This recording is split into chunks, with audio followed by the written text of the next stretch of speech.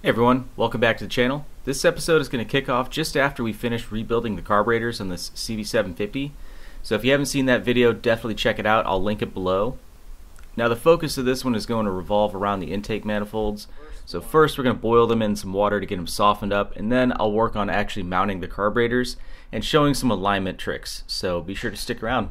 Enjoy the video.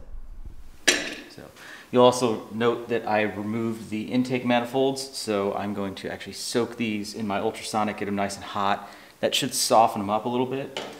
And then that will make installing not only the intake manifolds, but the carburetors much easier in conjunction with the fact that with them soft, it should have a better chance of actually being able to clamp and seal, preventing air leaks. So I would actually like to make another video. I want to try out some wintergreen oil. So I know uh, Doc Jones Garage, he has made a cool video on um, doing the whole wintergreen thing and it looked like it worked fantastic. So I do want to make that an upcoming video.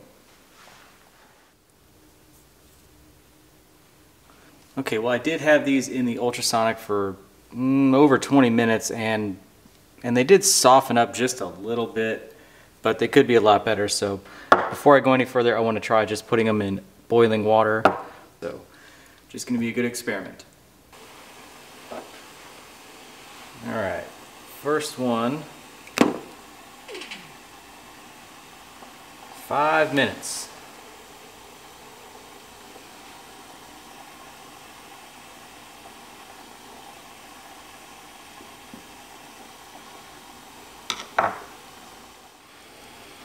Okay, we have about 30 seconds left. So I also put in a couple rubber pieces here and because I plan on replacing the actual float needles, I wanted to put these in here as an experiment. And now all of a sudden all of these springs and plungers have popped back up. So I'm going to see if I can get these things back in service and clean them up even more. Fun little, fun little thing. Alright. Dismiss. There's our five.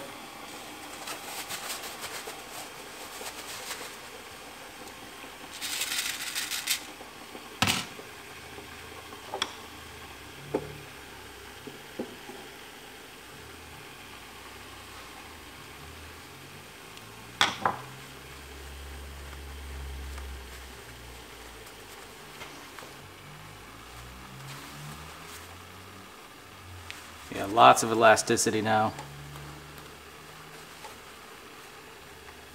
I'd say doing five minutes would be all you all you really need. So I'm gonna toss the rest of these in here. I mean, I can't. I can hardly collapse that one. All right, toss these in. Oops. Crank it back up. up to six minutes and start. So, fun little experiment.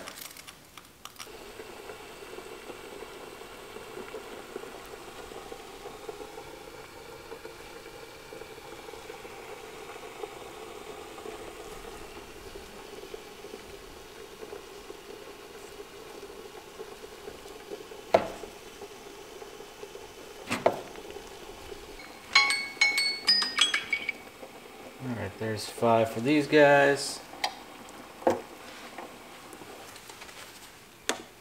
Okay.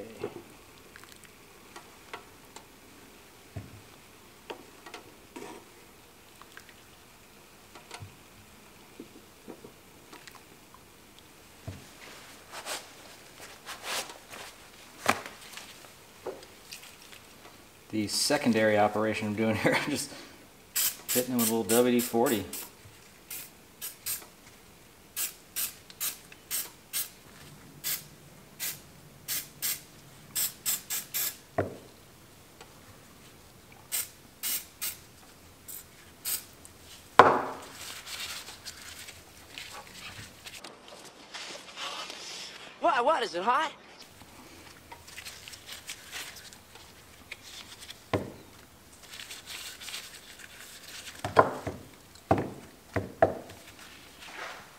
while these things are still hot, you can go ahead and get them back on the bike.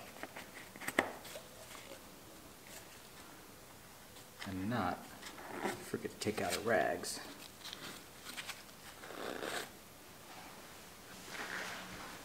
Now on your CB750s, there's really only two different kinds of intake manifolds. This one has a 3 and a 2 on it. This one has a 1 and a 4. Your number faces up and it's on the actual carburetor side. So the way you do that, on number 4, 4 faces up, goes over here like that. And if you want to use it on number 1 side, flip it over, goes over there. So right now we need a number 3. Get our number 3. Boom. Just like that.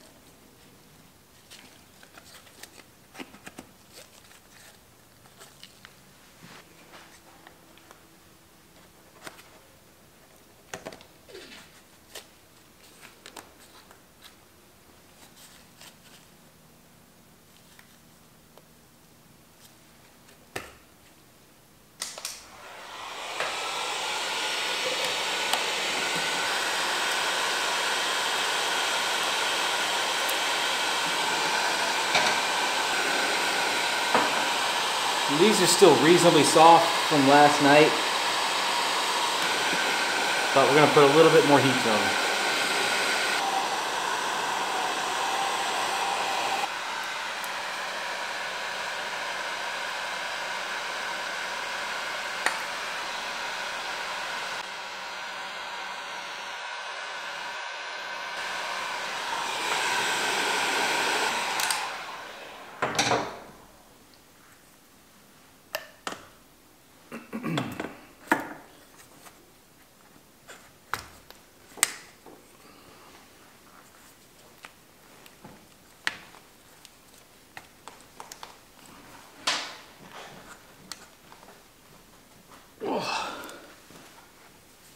See, the correct angle of attack is directly where the camera is right now.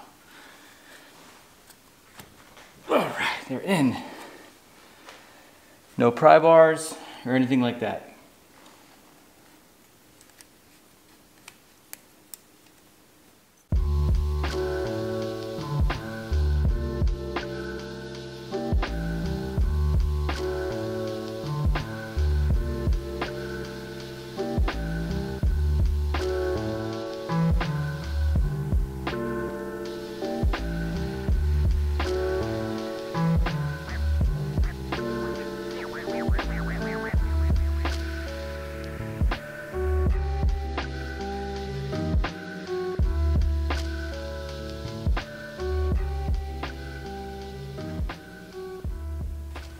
Okay, it's time to put our airbox back on the bike and before we do this we need to put our new intake manifolds on this thing. So these are the airbox to carburetor trumpets. I actually picked these uh, up in person at Barber Vintage Fest, but these are much softer than what came out. The other ones were just hard as a rock. So we will get these things clocked exactly how they need to go. So these actually extend inside your airbox and that's like your velocity stack right there. So pretty easy install. Just throw these in like that. Pop the lip in.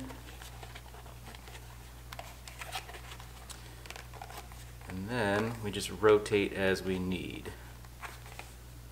And then you're left with the intake trumpet right there.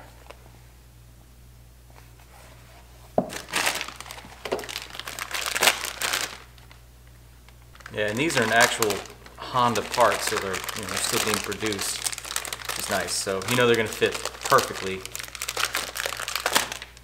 Like I said, take this, put that in there.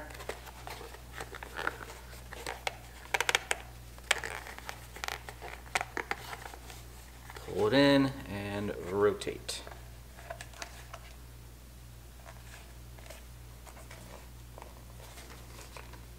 And of course, before you put these things on, don't forget about your clamps.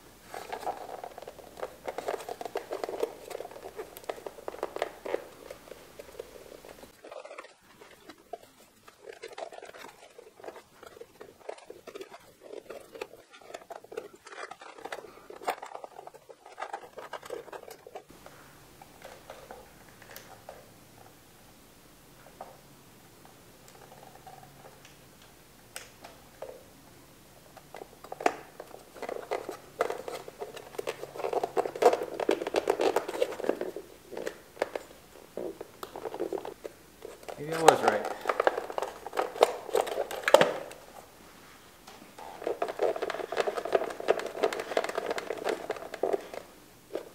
Man, I just, I can't quite tell. These have to be the right intakes.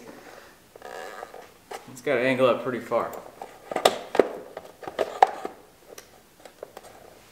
And to be fair, these are the easiest air boxes to get on and off. I'm just fighting the intakes because I don't have an alignment mark on them right now.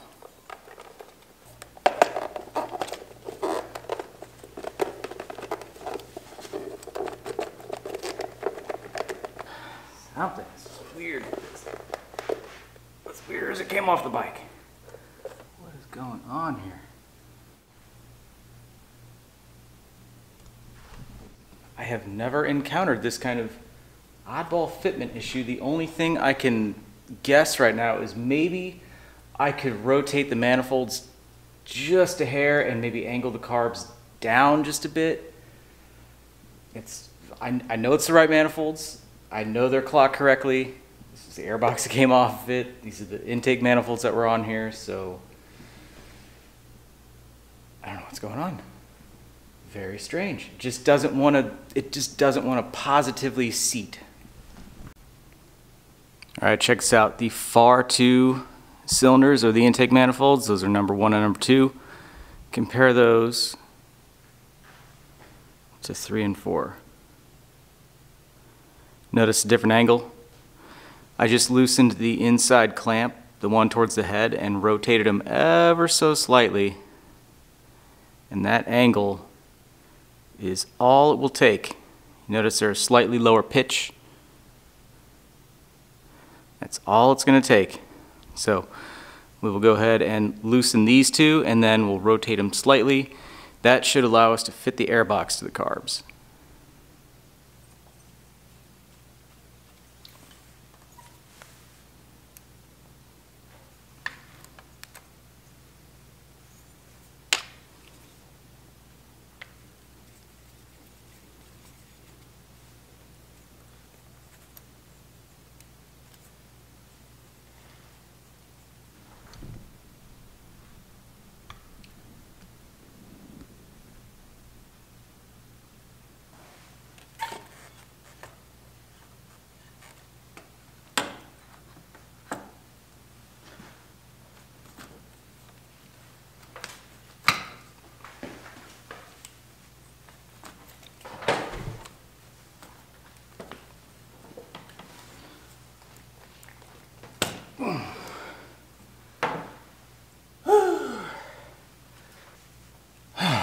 I'm feeling confident with that.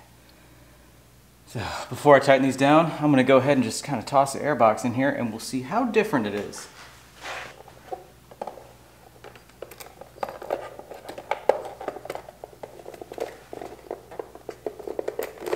Yep, that's how, that's how it should fit. Okay. All right. Now we know. Reposition my clamps on here because I'd flipped them just, you know, swinging for the fences.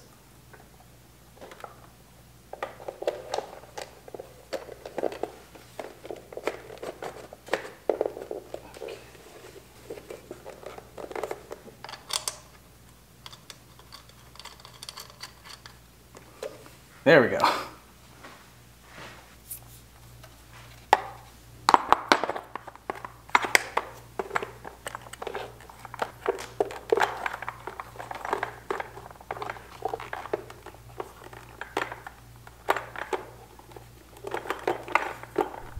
Well, just like anybody else, I make mistakes too, and that's evidenced by me mounting the intake manifolds clocked just slightly wrong, which made a big difference for mounting the airbox. So if you guys are having fitment issues, definitely check this video out. Maybe consider your intake manifolds as being the culprit. So hopefully you guys liked this video and picked up some tips and tricks. I thought it was really cool to boil these things and soften them up, and I do plan on making a video on the wintergreen oil eventually. I don't know when that'll happen. But look for the next video on this bike being the electrical on it as I dig in and get one step closer to firing this thing up. I hope to have this thing running here very shortly from the time of this recording. So anyway, again, hope you guys like this one and hope to see you in the next video. Thanks for watching.